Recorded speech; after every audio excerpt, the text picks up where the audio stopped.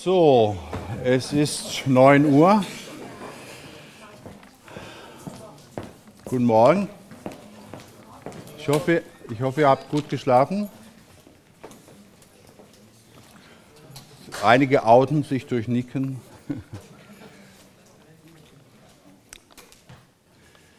Äh, ich habe mir es so gedacht, dass wir, nachdem wir ja gestern mit den Beziehungen weitergemacht haben, äh, angefangen haben, dass wir eher mit den Beziehungen jetzt weitermachen. Da sind wir gerade so schön dran. Und äh, heute Nachmittag denke ich dran, dass wir eher einerseits wirklichkeitskonstruktive Perspektive und andererseits Intuition machen. Und dass wir morgen dann zu diesem Persönlichkeitsteil 2 und Skripten und Lebensentwürfe und diese Dinge äh, zurückkehren. Und dann haben wir natürlich auch noch weitere Themen. Also ich glaube, wir kommen gerade so hin mit der Menge. Äh, ich bin guten Mutes, dass ich durchhalte. Ihr seht auch noch ganz entschlossen aus. Heute Morgen kein Witz. Hab, ja, Moment. Also, also kein Witz. Vielleicht fällt er mir noch währenddessen ein, aber irgendwie, mir fallen eigentlich sonst leicht Witze ein. Meine Frau hat das schon immer genervt, aber ich habe mir das abgewöhnt weitgehend. Äh, äh, aber irgendwie fiel mir nicht so leicht einer ein und dann da, plötzlich fiel mir ein, dass ich zwei Gedichte ja mitgebracht habe. Und vielleicht fällt mir deswegen kein Witz ein, weil ich äh, die äh, vortragen soll. Und ich möchte eines mal vortragen. Das ist ein bisschen was von der besinnlicheren Seite, aber es ist ja für mich sozusagen ein bisschen auch eine Abschiedsfeier. Da darf das sein. Dieses Gedicht ist von Rilke. Briefe an einen jungen Dichter, da könnt ihr euch jetzt angesprochen fühlen. Und äh, es heißt, was mich bewegt. Die Dörte, alte TA-Kollegin, Freundin, Schülerin äh, und Lehrtrainerin am Institut, hat mir das zum 60. Geburtstag gewidmet. Was mich bewegt. Man muss den Dingen die eigene, stille, ungestörte Entwicklung lassen, die tief von innen kommt und durch nichts gedrängt oder beschleunigt werden kann. Alles ist austragen und dann gebären. Reifen wie der Baum, der seine Säfte nicht drängt und getrost in den Stürmen des Frühlings steht, ohne Angst, dass dahinter kein Sommer kommen könnte. Er kommt doch. Aber er kommt nur zu den Geduldigen, die da sind, als ob die Ewigkeit vor ihnen läge, so sorglos, still und weit. Man muss Geduld haben gegen das Ungelöste im Herzen und versuchen, die Fragen selber lieb zu haben, wie verschlossene Stuben und wie Bücher, die in einer sehr fremden Sprache geschrieben sind. Es handelt sich darum, alles zu leben. Wenn man die Fragen lebt, lebt man vielleicht allmählich ohne es zu merken, eines fremden Tages in die Antwort hinein.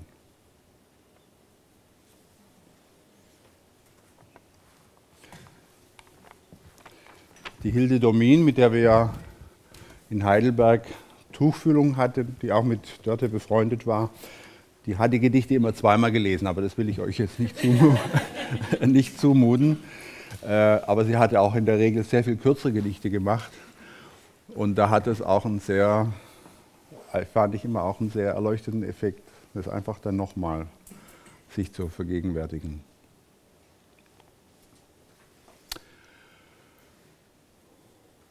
Gut. Gibt es zu gestern irgendwelche Fragen, die noch besprochen werden müssen? Irgendetwas, was zum Ausdruck gebracht werden sollte, damit wir gut weitermachen können.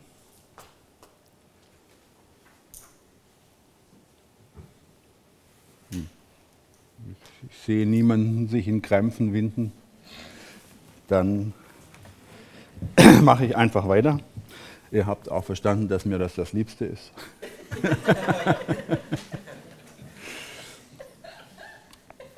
ja, dann kommen wir jetzt zu Spielen. Ich habe es gestern auch gesagt.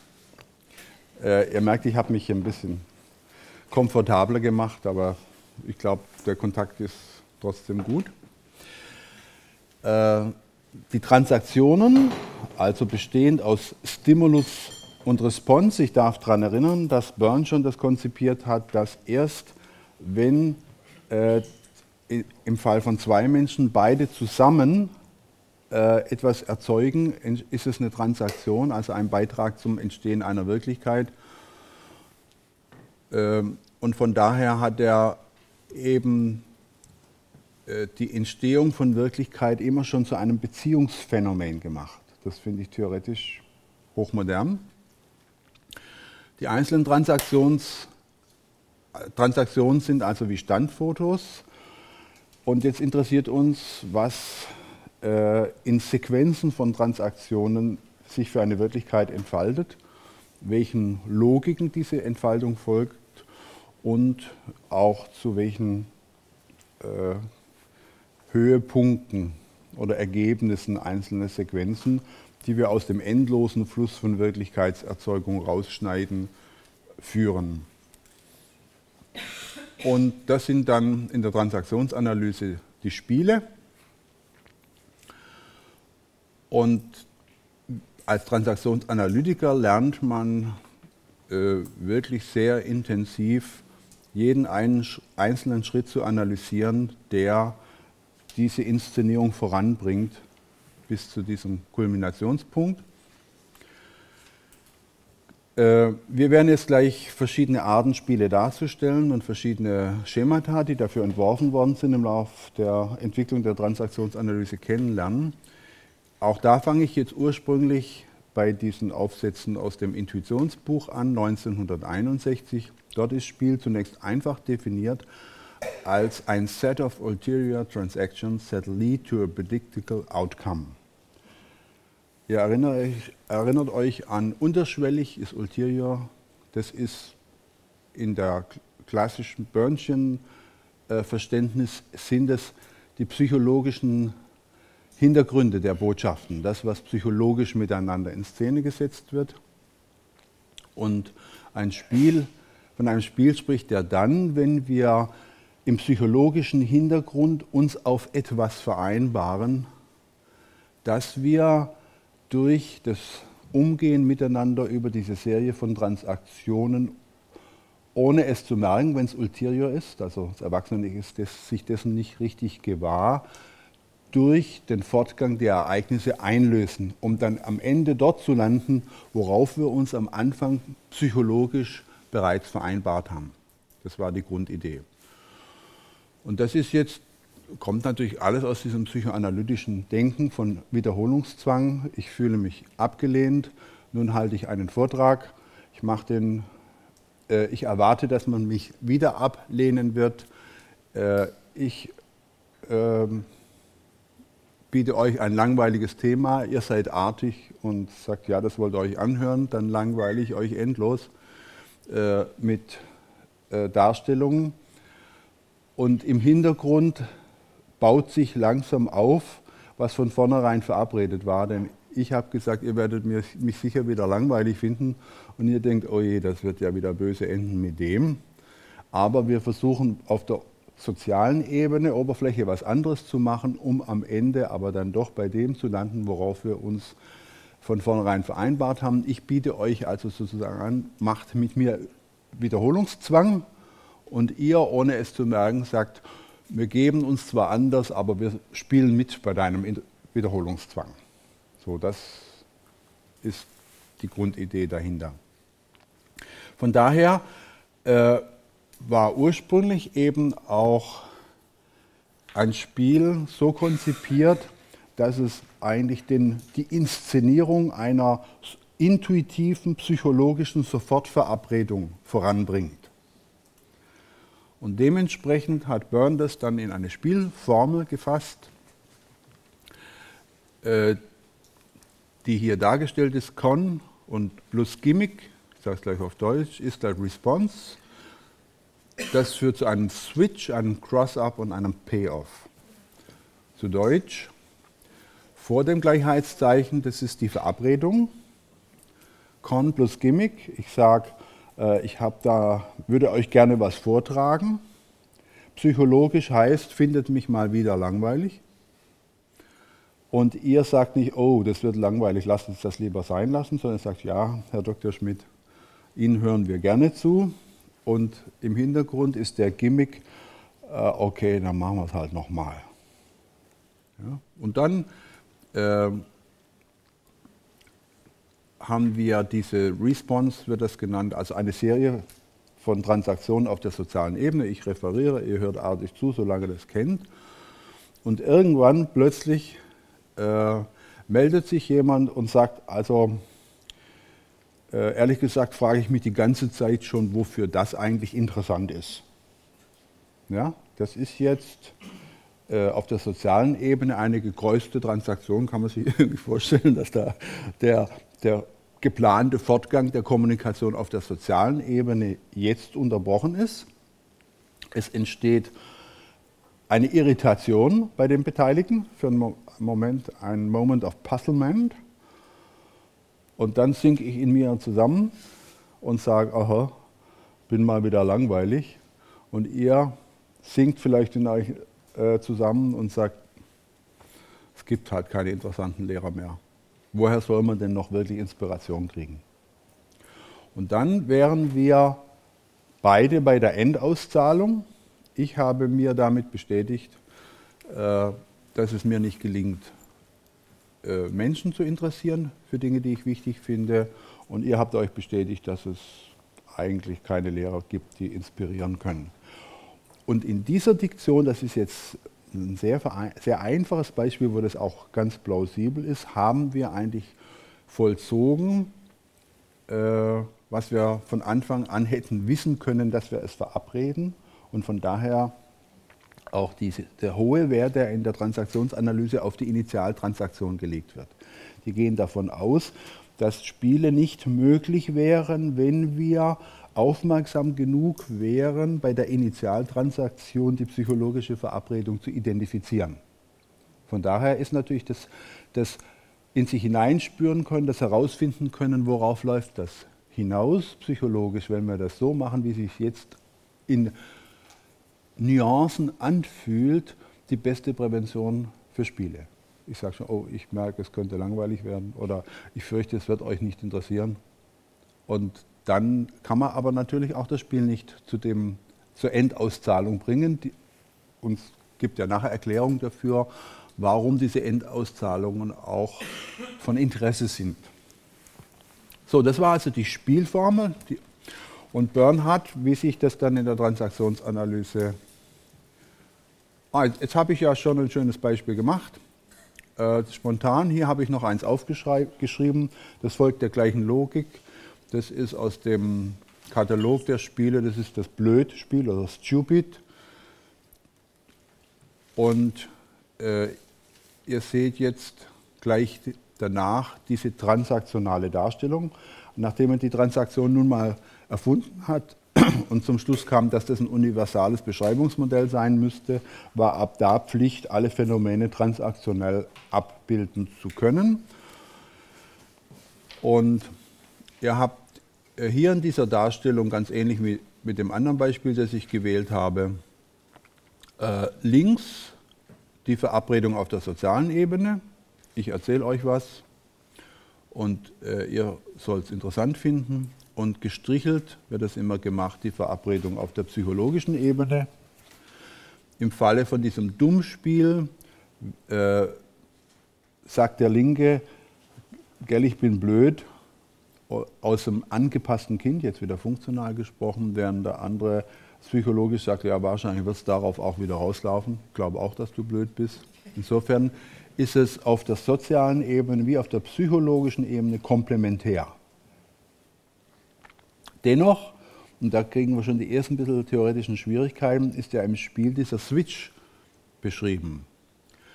Und dieser Switch besteht nicht darin, dass Transaktionen gekreuzt werden, sondern, äh, was theoretisch eigentlich nirgends beschrieben wird, sondern dieser Switch besteht genau genommen darin, dass die Ebenen sich verschieben. Also das, was, die, was komplementär im Hintergrund verabredet wurde, wird plötzlich bestimmend im Vordergrund. Und das erzeugt die andere soziale Situation, aber es gibt eigentlich keine gekreuzten Transaktionen dabei. Oder man kann das als gekreuzt ansehen, dass man sagt, während ihr bisher brav zugesetzt gehört habt, sagt jetzt, ein, äh, sagt jetzt einer, äh, ich glaube, ich finde es langweilig. Also das, das, ist so eine Schnittstelle, was das eigentlich theoretisch genau ist. Ist jetzt gar nicht so wichtig. Ihr findet eben, wo ist der Wind, wenn er nicht weht. Äh, das ist ja bei uns auf der Website und es hat Jungfermann gerade auch wieder erbeten, die Rechte zurück, um es als E-Book rauszugeben. Also ihr könnt kostenlos was, könnt ihr das auch demnächst wieder als E-Book runterladen. Äh, nur die letzten beiden Kapitel sind dort eigentlich ein Zusatznutzen zu dem Band 1, den ihr jetzt habt. Die anderen Kapitel habe ich in den jetzigen Band 1 übernommen. Die letzten beiden Kapitel habe ich nicht übernommen, weil das so differenzierte Auseinandersetzungen mit Persönlichkeitsmodellen und mit Beziehungsmodellen der Transaktionsanalyse äh, sind, in Wo ist der Wind, wenn er nicht weht, die die äh, die allgemeine Menschheit kaum interessiert und die meisten Transaktionsanalytiker leider auch nicht.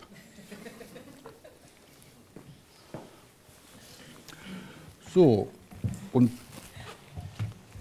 das, eine der Faszinationen der Transaktionsanalyse besteht darin, dass die auf spielerische Weise auch sehr gut dargestellt haben, wie das eigentlich äh, Katz- und Maus-mäßig hin und her geht, wenn Menschen Drama miteinander machen, Psychodrama. Es ist jetzt nicht das Drama gemeint, äh, das bewusst inszeniert wird, weil es Play ist, sondern es ist das Drama gemeint, das Game ist, also Beziehungsränkespiele. Und das ist eine sehr einfache, aber geniale Erfindung von Steve Carpment, einer der Eric Byrne Memorial Award Winner für äh, dieses Schema. Und da gibt es drei Positionen, aus denen heraus das gespielt wird, jetzt auf der sozialen Ebene. Also die Darstellung. Oder? Und obwohl das auch nicht ganz klar ist. Die drei Positionen sind Retter, Verfolger, Opfer. Der Verfolger, da kommen wir später noch ein bisschen drauf, hat die Grundeinstellung, äh, ich bin okay und du bist nicht okay.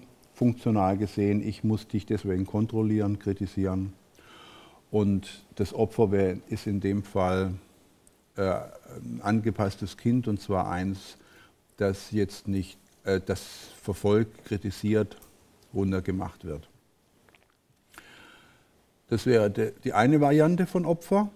Das Opfer nimmt die Position ein, ich bin nicht okay und du bist okay. Also ich äh, räume dir sozusagen auch ein, dass du mich zu Recht kritisierst, kontrollierst und fühle mich bezogen auf das dann auch entsprechend bestätigt darin, dass ich nicht ganz okay bin. Die fürsorgliche Eltern-Ich-Variante wird dann durch den Retter ausgespielt, der von der der zwar positiv daherkommt, aber auf der Basis, äh, du hast das nötig, also und wenn du mich nicht hättest, also nur wenn ich, also da ist nicht diese ganze Inverantwortungnahme, die, der ganze Respekt vor den eigenen Möglichkeiten des anderen mit drin, sondern äh, der Retter bietet dem anderen auch ein bisschen an, kleiner zu bleiben, als er sein könnte. Und fühlt sich dadurch eben selbst äh, positiv, weil ich bin ja toll, weil ich jemanden habe, dem es offenbar schlechter geht und dem ich was Gutes tun kann. All diese Positionen gibt es natürlich auch im wirklichen Leben, aber nicht verbunden mit der Bestätigung von nicht okay oder okay Positionen. Das macht es zum Dramadreieck. Es gibt ja Menschen, die positiv kontrolliert werden müssen und wo das gut ist. Es gibt Menschen, die fürsorglich behandelt und gerettet werden müssen. Aber äh, wenn das mit einem Grundverständnis, ich bin okay und du bist okay, ich brauche nicht dein Okay sein, um mich zu erhöhen, oder ich brauche nicht dein Nicht-Okay sein, um mich zu erhöhen, äh, äh, die, die dürfen dabei keine Rolle spielen, sonst wird es eben zum diese Art von Psychodrama im Hintergrund. So, ich habe jetzt mal äh, das, äh, ein Spiel ausgewählt, äh, das nicht nur sexuell gespielt wird, sondern sehr viel eben auch in Berufsbeziehungen.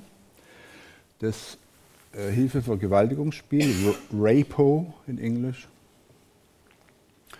Und das geht äh, meist so los, dass von der Opferposition her jemand kommt und sagt, ich brauche dringend was von dir, in der Regel dann nicht spezifiziert, keinen klaren Kontrakt und so weiter. Und äh, es findet sich dann sofort, Punkt 1 rechts oben, der Retter, du sagst, du kannst alles haben. Es rührt mich, wenn jemand mich wichtig genug findet, was von mir zu brauchen, auch ohne genau zu klären, was das denn sein könnte. Dann gibt es eine Serie von sozialen Transaktionen, die jetzt hier im Dramadreieck nicht dargestellt wird, weil ja dort nur die Wechsel, also die größten Transaktionen auf der sozialen Ebene im Dramadreieck dargestellt werden. Die arbeiten also zwei, drei Coachingstunden miteinander und es wird immer intimer. Man arbeitet an der Kindheit und an Missbrauchserlebnissen und sowas. Und irgendwann kommt der Klient äh, in die nächste Stunde und sagt, ich habe mir das Ganze nochmal angehört, Eig wo haben Sie mich eigentlich dahin gelotst? Ich bespreche hier Dinge, die zahlt mein, da gibt es keinen Grund, warum die mein Arbeitsgeber bezahlt. Äh, ich äh, plaudere hier Dinge aus, die äh, in der Privatsphäre gehören, die überhaupt nicht in eine berufsbezogene Beratung reingehört. Ich finde diese Art von Missbrauch, sowohl vom Geld als auch von meiner Unorientiertheit, was Beratung eigentlich sein kann, absolut empörend. Sie sind ein Ferkel. Das war jetzt etwas länger gesprochen, äh, was ich hier sehr kurz äh, dargestellt habe, nämlich das Opfer äh, wechselt in die Verfolgerrolle und sagt, das war's nicht, Finger weg, du Schwein. Und der Retter, wenn er sich einlässt, geht dann in die Opferrolle und fühlt sich schlecht und sagt, ich lang immer daneben. Ich habe gedacht, sie wollten das, eigentlich bin ich gar nicht so und fühlt sich miserabel. Diese Art von Spiel wird in allen Sphären gespielt. Ja, und also da ist es eben aus äh, der sexuellen Sphäre erstmal entnommen, wo es diese Dynamiken ja sehr oft gibt. Und die werden ja dann manchmal, äh, es wird ja bei Spielen, das habe ich jetzt gar, fällt mir gerade ein, gar nirgends äh, dargestellt, es werden ja verschiedene äh, gefährlich und schädig, Schädigungsgrade von Spielen unterschieden. Also Spiel ersten Grades ist so, wenn das am Dinner Table in fünf Minuten stattfindet ja, wo man dann ein bisschen so mit Unbehagen auseinandergeht, aber kein größeres Problem ist. Äh, Stufe 2 ist, wenn man das im Hotelzimmer nachts veranstaltet. Und Stufe 3 ist, wenn das äh, so extrem wird, dass das dann vor Gericht landet und äh, irgendwelche Berater um ihre Existenzen fürchten müssen oder Familienväter öffentlich äh, Opfer von Missbrauchsbezichtungen werden und so. Und dann kann das also hochschädigende bis hin dann zu nachfolgenden Suiziden und sonst was harmful äh, Dimensionen annehmen. Die Logik äh, ist aber oft durchaus in dem völlig gleichen Schema beschreibbar. Ja? Du? Äh, du hast es jetzt eben mit zwei Personen beschrieben. Das heißt, sowohl der Retter als auch das Opfer ändern ihre Rolle. Ja. Ja, das kannst du natürlich. Es gibt es aber auch mit drei Personen. Aber mit beliebig vielen. Also das zieht einen ganzen Rattenschwanz nach sich. Dann kommt der Rechtsanwalt, der dem Opfer jetzt beispringt und sagt, äh, dieser bösen Bezichtigerin oder diesem, äh, dem werden wir es aber zeigen, die sind nicht okay. Dann versucht der, geht der Rechtsanwalt äh, gegenüber dem Angeklagten in die Retterrolle und gegenüber dem Kontrahenten in die Verfolgerrolle. Und dann gibt es also ganz beliebig große, vielhändige Aufzüge dieser Art geben. Ich habe jetzt nur den ganz einfachen Fall äh, genommen, weil ich es ja nur als Illustration von den Darstellungsarten von Spielen nehme. Ich möchte jetzt nicht äh, ausführlich Spiele abhandeln.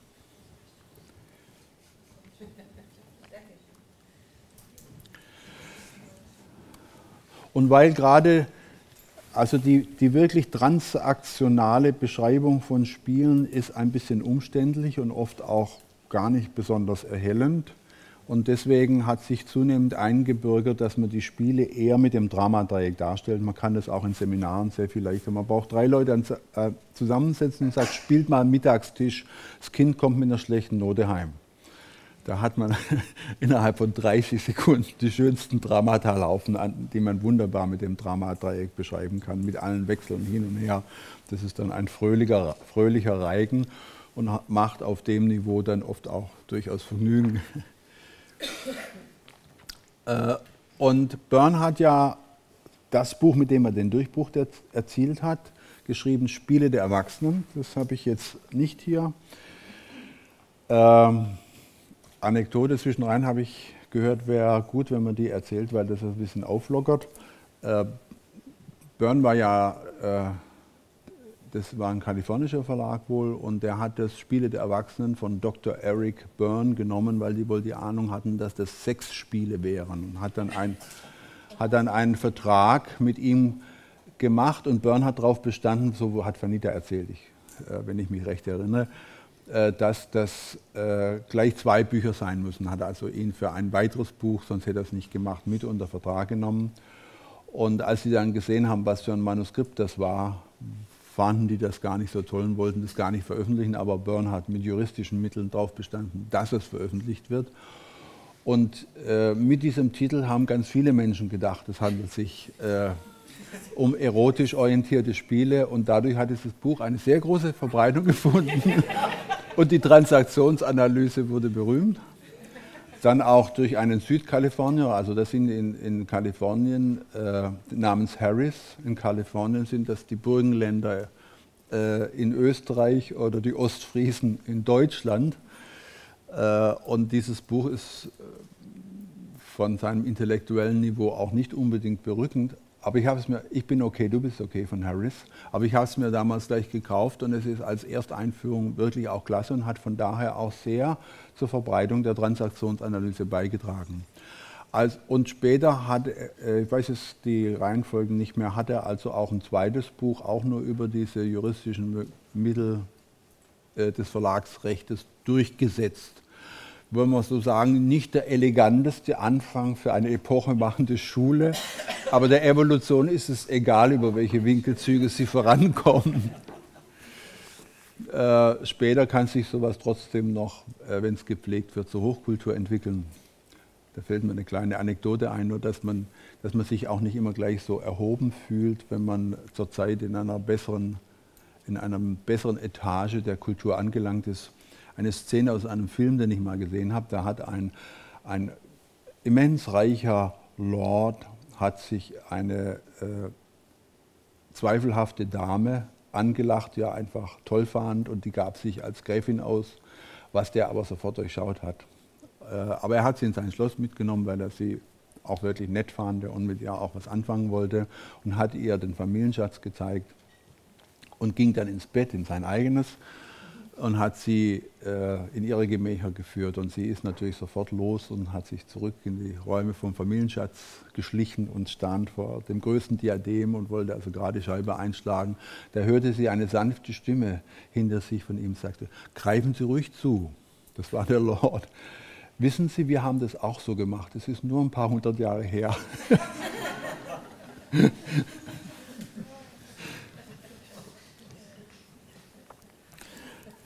Ja, also, äh, und darin sind sehr viele äh, Spiele beschrieben mit ihrer psychoanalytisch hinterlegten Dynamik und richtig ordentlich äh, nach der ganzen Architektur von Spielen aufgelistet.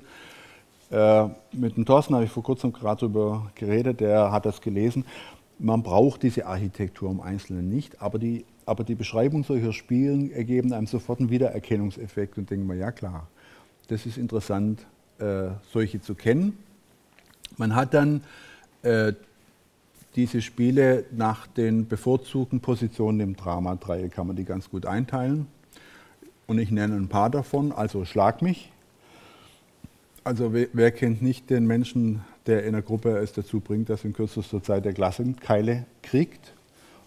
und mit einer Effektivität, die toll ist. Eine der Lehrtrainerinnen der die bei mir ihr erstes Seminar gemacht hat, die war darin so klasse. Ich habe aber schon, äh, alle fehlten sie für total gestört. Ich habe aber gleich gesagt, aus der Frau wird mal was, ist auch so geworden. Ich weiß nicht, wie sie es gemacht hat, aber die setzte sich hin und machte eine Art von Übungen, sozusagen ganz. Es sah so aus äh, auf der sozialen Ebene, als wolle sie sich entspannen, weil man sich doch mit der Zeit etwas steif sitzt und so. Aber es hatte etwas an sich, wo jeder sofort einen Würgereflex kriegte. Und es dauerte auch einen halben Tag lang ging das auf der sozialen Ebene, aber die Verabredung, dass sie Klassenkeile kriegt, die war klar im Raum. Und äh, die hätte sie auch gekriegt, wenn ich das nicht verhindert hätte.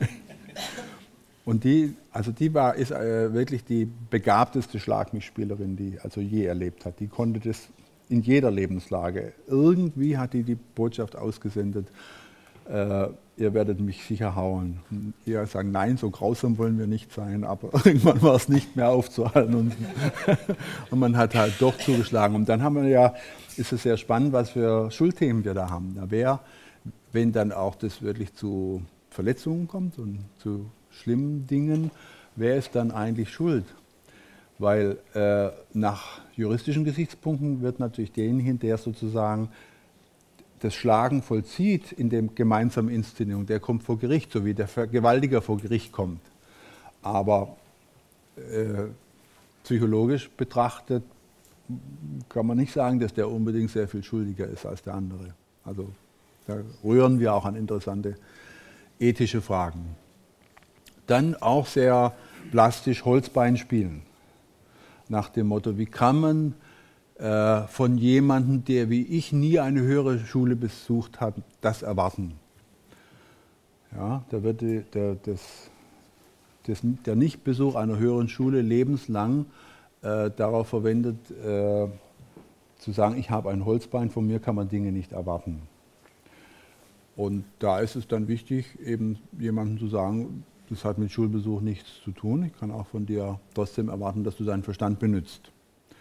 Es ist also die Einladung zu merken, dass das Holzbein, neben dem Holzbein ein nicht benutztes, gesundes Bein ist. Und das ging ja bis dahin, ich habe das gestern erwähnt, dass die Schiffs äh, das sehr konsequent gesagt haben, dass auch, äh, dass jemand schizophren ist, ist kein Grund, sich schlecht zu benehmen oder nicht zu denken. Also auch da haben die Holzbeinspiele heftigst konfrontiert. Auch das rührt an schwierige Fragen ran, was kann man wirklich erwarten und was kann man nicht erwarten, äh, mit denen viele Professionelle ja immer wieder auch befasst sind. Ne? Und wie, wer, wie, oft habt ihr, wenn ihr im Organisationsbereich gearbeitet habt, wahrscheinlich ähnlich wie ich, gesagt, okay, es nützt nichts, wenn ich meine Lehrbuchvorstellung hier einbringe. Die brauchen jetzt wirklich was, die sind in der Krise, da muss ich mit anpacken, da muss ich helfen. Äh, die sagen, wir können im Moment nicht die Umorganisation machen, die Klärung der Zuständigkeiten der Delegation, die eigentlich notwendig wären. Und dann weiß ich jetzt nicht, komme ich jetzt in die Helferposition im Symmetramadreieck und spiele die Holzbein. Und wie, und wie oft hat man erlebt, dass man denkt, man will dann auch jetzt nicht puristisch sein, man will auch mit anpacken, die appellieren dann auch danach, wie können sie jetzt, wo äh, das Schiff brennt, mit uns äh, darüber reden, ob man nicht hätte ein eine andere Feuerlöschanlage einbauen sollen. Jetzt müssen wir erstmal löschen. Sieht man dann auch ein, macht das dann auch, um festzustellen, sobald der größte Brand gelöscht ist, äh, heuern, verkaufen das Schiff dann gleich wieder einen noch größeren Auftrag mit Brandgefahr, der leider schon gleich nächsten Monat beginnt, sodass mit Feuerlöschanlage dann jetzt doch nichts zu machen ist. Und dann merkt man, dass man doch in einem Holzbeinspiel äh, gelandet ist, obwohl man es auch gut gemeint hat, manchmal sogar sehenden Auges. Ja, ich armer ist ja auch etwas, was häufig gespielt wird, dass das Ergebnis ist, um, why does this always happen to me? Also Menschen, die, egal wie das Wetter ist, merken, wenn es mal nicht so ist, wie es sein sollte, liegt es daran, dass es immer ihnen passiert. Da ist das Wichtigste, äh, die wichtigste Intervention, wenn ich meinen Freund Gunter Schmidt zitieren darf, lerne klagen ohne zu leiden. als erste Stufe. Also nicht gewöhn dir das ab, sondern spiel das ruhig weiter, aber du musst selbst ja nicht mehr dran glauben.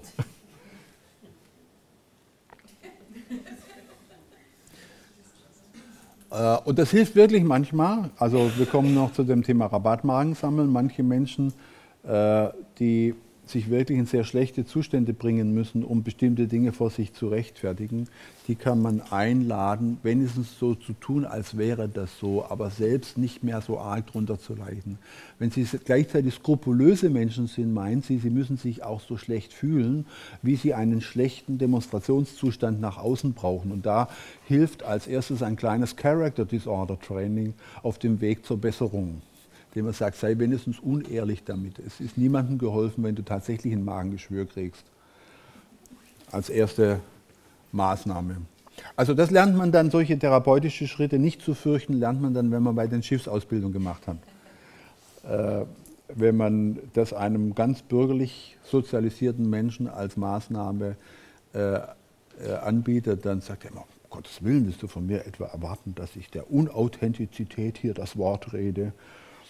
Der äh, hat dann einfach weniger taktische Spielräume im Beraten von Menschen. Und man kann ethisch motivierte Therapie durchaus auch mal mit unethisch aussehenden Schritten machen. Und es gibt Milieus, in denen man absolut impotent ist, wenn man dazu nicht in der Lage ist.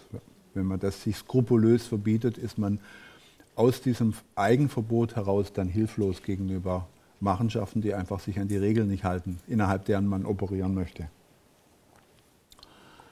Also Beispiel, ist euch das recht, wenn ich so, so kleine Anekdoten noch dazu erzähle? Der Sheikh Schiffer mal erzählt hat, dass der hat mit Kriminellen am Knast gearbeitet und da galt eine ganz klare Regel, der erste, äh, der erste, bei dem zum Beispiel Drogen äh, gefunden werden, fliegt, egal warum, und es wird nicht mal überprüft, ob das gerecht ist oder nicht gerecht ist, ob, ob sie der selber beschafft hat oder nicht beschafft hat.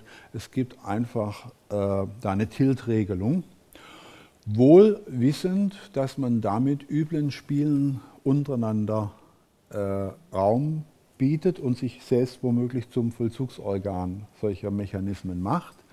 Aber es ist die einzige Möglichkeit innerhalb des Systems, wegen der höchst hohen Gefährdung, die dadurch entsteht und bei Kriminellen ist äh, ein hohes Reizniveau, schafft hohe Achtsamkeit. Äh, sodass die also drauf gucken, dass ihnen keiner was unterschiebt und wer da was macht. Und wenn sie jemanden erwischen oder von jemandem annehmen, dass er in der Beziehung schief liegen könnte, dass der sofort konfrontiert und öffentlich äh, das offengelegt wird. Das würden die nach ihren Wertvorstellungen niemals tun, wenn sie nicht so bedroht wären, selbst Opfer zu werden. Und dass es keine Möglichkeit gibt, sich rauszureden, selbst wenn man unschuldig ist. Also da rühren wir dann an interessante ethische Fragen. Ob der Zweck da die Mittel heiligt, da kann man sicher viel darüber diskutieren. Helferspiele, das ist jetzt, wenn ihr euch da nochmal dran erinnert, also Spiele, die aus der Retterposition initiiert werden oder die dazu da sind, selbst die Retterposition am Ende einnehmen zu können. Ich will dir ja nur helfen. Ja. Oder toll, dass du deinem Chef jetzt mal die Meinung gesagt hast, was wärst du ohne mich? Und dann gehe ich ins Bahn gucken, Spiegel und sagen, was bin ich doch für ein Gutmensch. Sie werden noch auf mich stolz sein. Äh, all solche Sachen kann man sich natürlich durchaus als okay, okay Versionen vorstellen. Nichts, nichts dagegen, dass man gerne ein Gutmensch sein möchte und hofft, dass Menschen, die einen kennen, dann auf einen stolz sind. Äh, immer daran erinnert, das sind Plus-Minus-Positionen. Also ich brauche andere, die nicht kompetent sind, die hilfsbedürftig sind, die Kritik würdig sind, damit ich diese Position einnehmen kann. Von daher eigentlich ein Ausbeutungsverhältnis. Also es gibt durchaus Plus-Plus-Versionen, ich bin okay, du bist okay, Versionen, die ähnlich sind.